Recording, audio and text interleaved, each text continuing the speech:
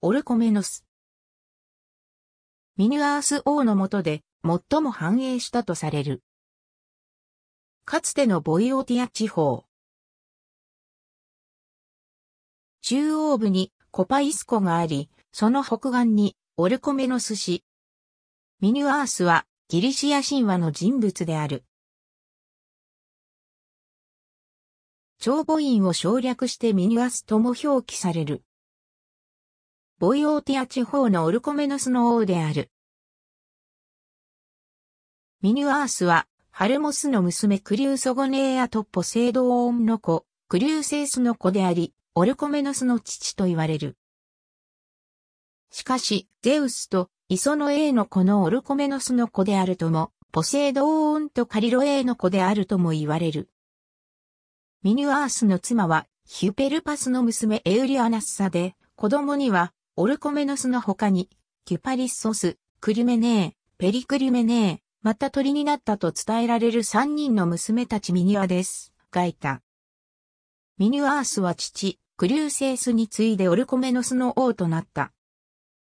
ミニュアースは、莫大な財産の持ち主で、ギリシア人で最初に、宝物庫を建設したと言われる。これは、ミニュアースの宝物庫として知られ、パウサニアスはギリシアの驚異としてミュケーナイの城壁と共に紹介している。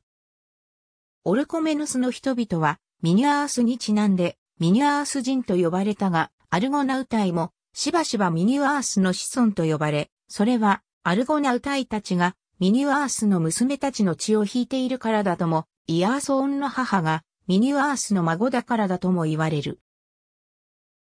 神話におけるオルコメノスの繁栄を最もよく物語っているのは、ハインリッシュリーマンの発掘である。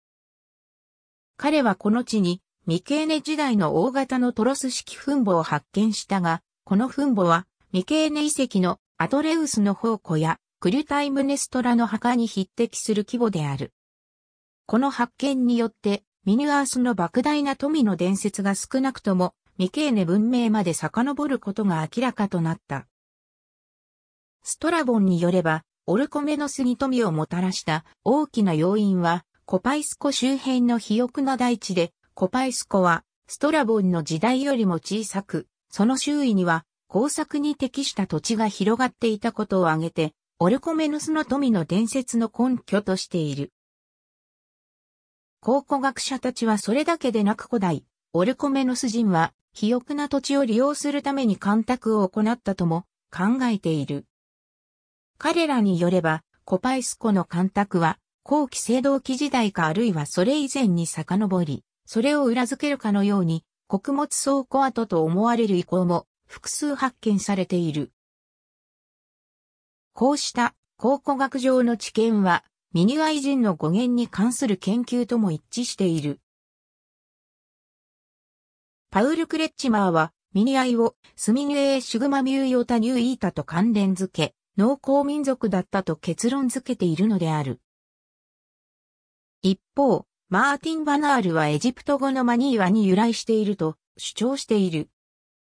ジョルジュ・デュメジルの比較神話研究をパウサニアスの伝えるオルコメノスの神話的称の解釈に応用したフランシス・ビアンによると、ミニュアースはエテオクレース、プレギュアースと共に、陰王語族に特徴的な神々の世界ないし人間の社会を、祭祀、戦士、農耕、牧畜民の三つないし四つの階級に区分する三、機能イデオロギーを象徴する王であると主張している。すなわちカリス女神の祭祀を創始したエテオクレースは、祭祀階級をギリシア中から優れた戦士を集めて、戦士集団プレギュアイを形成したプレギュアースは、選手階級を、そして富において、オルコメノスのあらゆる戦王を超えたミニュアースは、農耕、牧畜階級を象徴していると。また、パウサニアスの系譜についても、ミニュアースとプレギュアースが体になっているにもかかわらず、ミニュアースの前にクリューセースなる符号が挿入されているのは、系譜的にプレギュアースとの間に一世代のズレを生じさせるためであり、それによってオルコメヌスの社会機構が形成される過程を歴史的に描いていると指摘。ミケーネ時代のピロスに確認されるのと同じ社会機構が同じ時代のオルコメノスにも存在したことを神話の中に乱すことができるとしている。ありがとうございます。